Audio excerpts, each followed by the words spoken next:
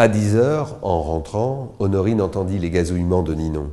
Elle se lava les mains et monta, comme tous les jours, retrouver ses petites. Elle appela Aurélie. Aucune réponse. Elle arriva dans la chambre d'amis et y trouva Aurélie allongée sur le lit, endormie. Honorine lui tapa une joue pour la réveiller. Aucune réaction. Elle tapa plus fort. Rien. Ses yeux se posèrent sur une boîte de somnifères vide posée sur la table de chevet. Elle secoua le corps de sa petite fille, mais il était trop tard. Aurélie avait rejoint le monde du silence.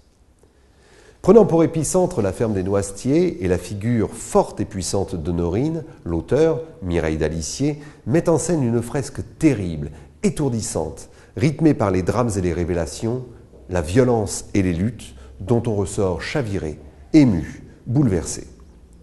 Retrouvez Mireille Dalicier dans trois autres de ses œuvres passionnantes L'ombre du grenier, Le bonheur à deux faces et Les sanglots de la mémoire. Le secret des larmes, ou une saga hantée par les thèmes des faux semblants, des vérités occultées, des tensions familiales, des manipulations.